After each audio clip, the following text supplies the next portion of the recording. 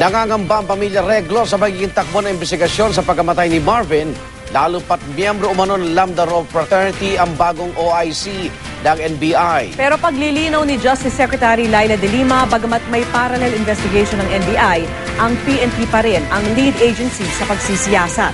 Saksi si Ian Cruz.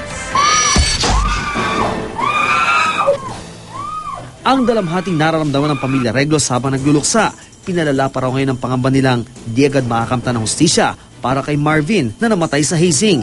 Kahapon kasi, hindi raw hinarap ni Justice Secretary Leila de Lima ang pinsan ni Marvin at abogado ng pamilya Reglos. sa atin pong Pangulong Noynoy.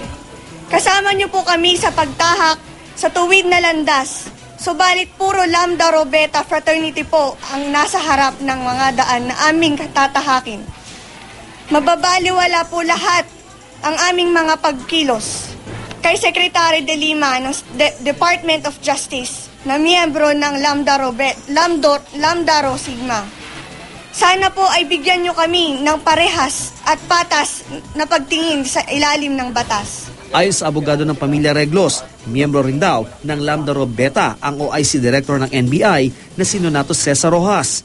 Wala pang tugon dito si Rojas. Sa NBI po na, pinapu, na pinamumunuan din ng isang miyembro ng Lambda Rho Beta Fraternity, wala pa rin po kaming narinig sa inyo.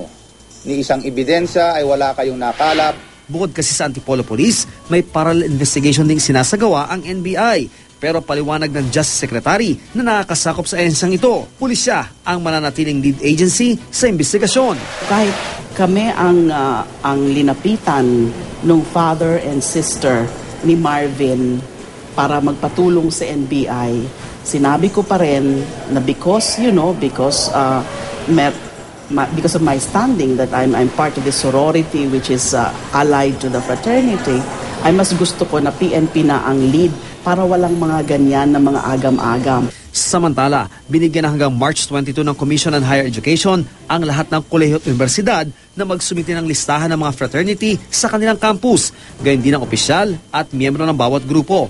Yan daw ay para ma-monitor na maayos ang mga aktibidad ng naturang grupo. Ako si Ian Cruz ang inyong saksi.